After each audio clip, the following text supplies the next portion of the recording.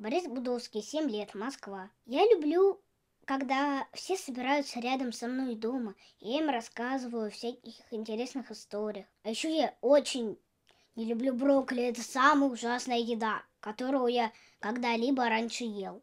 Раньше мне брокколи казалось вкусным, но я его разлюбил, как и бананы тоже. Я пытаюсь научиться кататься на скейтборде, но никак не могу научиться.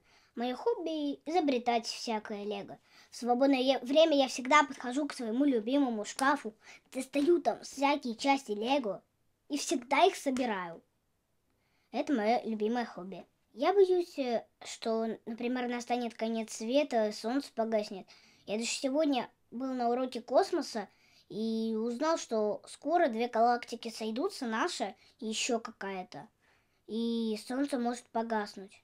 Когда я вырасту, я мечтаю стать изобретателем, потому что я смогу создать столько всего, кто еще не, ну, что еще никто не создавал.